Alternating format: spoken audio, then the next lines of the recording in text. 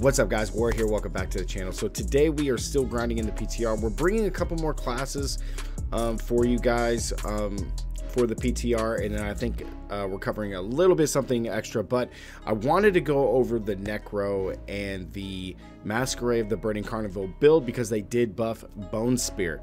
So as you see the six set piece bonuses, Bone Spear cast by you and your Simulacrums deal 9,000% increased damage and then Simulacrums gain triple this bonus, which means it's 27,000% damage from your simulacrums. Now, this used to be just 6,000% across the board, so they buffed it and then added a triple bonus to simulacrums. Now, I've gone to extent testing on this, guys. You're to see us do one.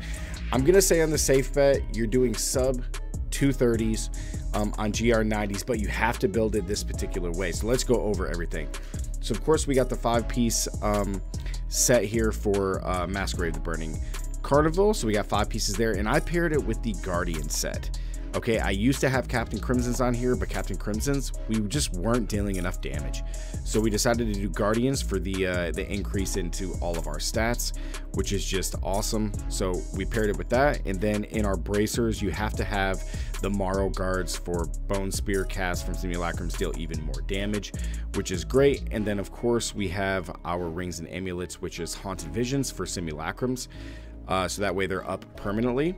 And then I this is the pair that I did. I yes, I know guys, I don't have COE in here, but I decided to go with Krysbin's Sentence for the triple damage and then Brig's Wrath to help pull in everybody to get that curse damage on there to you know it applies the curse and then we deal more damage so i'm opting for brig's wrath over coe okay it the, the way we're building it with brig's wrath is that way we're just gonna pull everything in and then hit them with a, a, a shattered bone spear and just basically, you know, ignite everybody and just blow them into pieces. So Brig's Wrath there, and then of course our legendary gems are Bane of the Powerful because we are going to be kind of speedy with this build and we want to hunt in groups and be able to deal a lot of damage all at once. So Bane of the Powerful, just keep that going.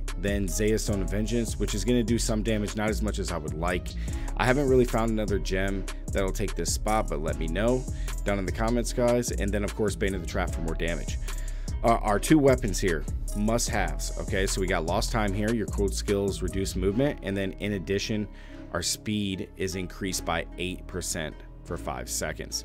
Okay, now this is really nice. You may be able to opt with a different um, offhand. This is just probably the best one just to have everything just frozen up. You deal additional damage. If there is another one that would work here, guys, let me know down in the comments. But uh, through testing, this is just what I found to be the best one. And then, of course, the Scythe of the Cycle. Our secondary skills, which is Bone Spear, does 400% increased damage when Bone Armor is active. And we will always have Bone Armor active, even with the 4% or 4 seconds that gets taken away from it when we are casting Bone Spear. So that's the gear, guys. Over to the cube, we have the Petrified Spike to deal more damage for Bone Spear. Stuart Greaves, so that way we can rush around because this is going to be a speedier build. And then, of course, Ring of Royal Grandeur to pair the two sets.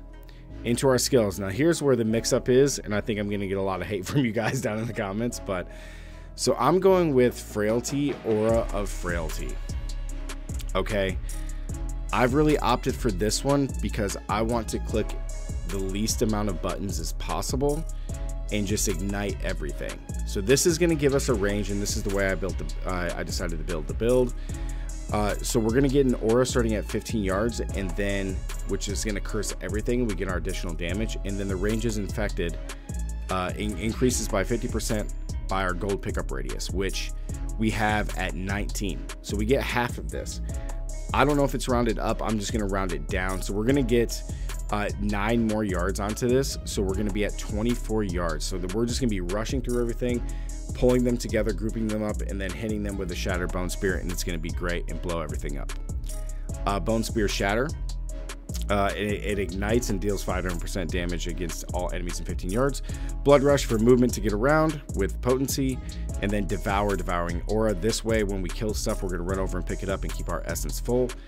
Bone Armor Dislocation to just stun everybody and to keep our defenses high. And then, of course, Simulacrum Reservoir to give us maximum essence while it's active.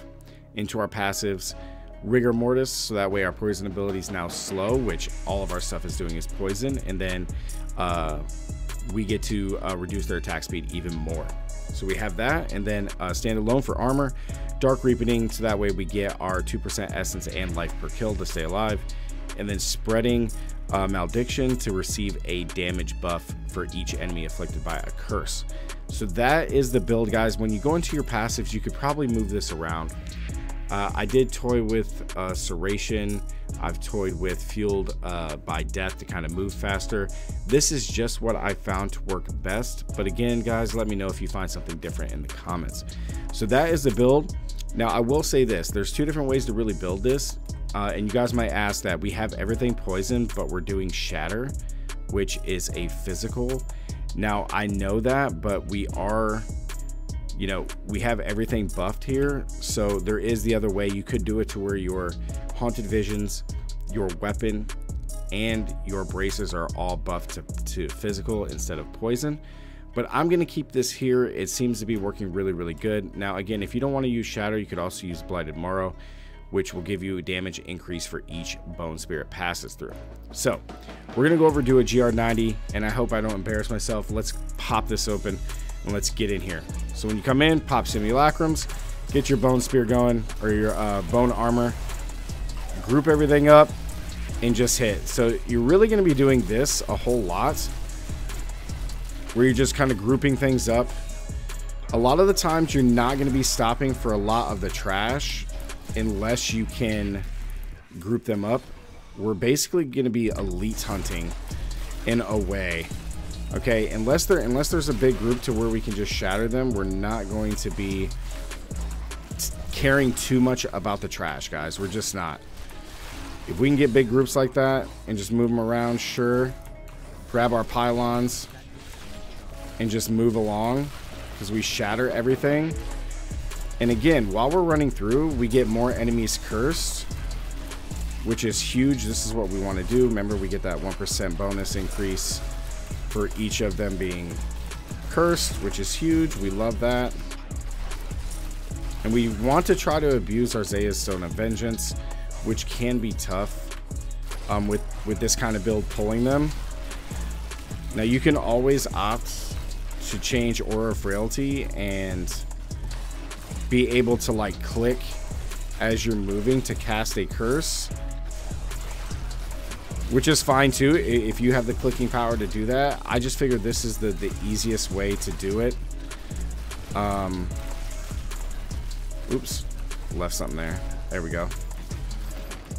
But the build, as you guys can see, man, it's really, really speedy. We get around the map like really fast. Um, and I really hate that we're on plague tunnels here for this showcase because this is probably one of the worst maps that we could have for this. It's terrible, actually. It doesn't really put us in a good position. There we go. This will help finish us out. We're going to be sub three minutes here for sure, guys. See, and once we get like a big mob and we can ignite everything, like we group them up, it's it's butter after that, man. See, and we just wreck. Stupid plague tunnels. So two and a half minutes, guys. Like I said, the sub three minutes is, um, and again, we don't have perfect gear. We have nothing augmented. Our, as you can see, our gems are really low.